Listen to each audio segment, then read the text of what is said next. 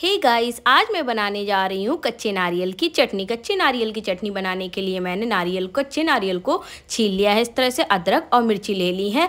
अब मैं इसे जार में डाल के इसमें मैं ऐड कर दूँगी इमली का जूस। इमली के जूस के साथ मैं इसमें सॉल्ट भी ऐड कर दूँगी और यहाँ पर मैं तड़के के लिए पैन गरम कर लूँगी। पैन में ऑयल डाल दूँगी। ऑयल डालने के बाद, गरम होने के बाद इसमें एक चम्मच उड़द दाल डाल देंगे। इसके साथ हम राई दाना भी डाल देंगे।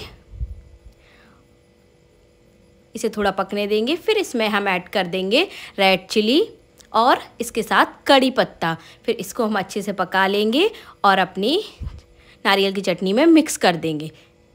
तो नारियल की चटनी हमारी रेडी है। कैसी लगी आपको कमेंट करके ज़रूर बताना। Thank you.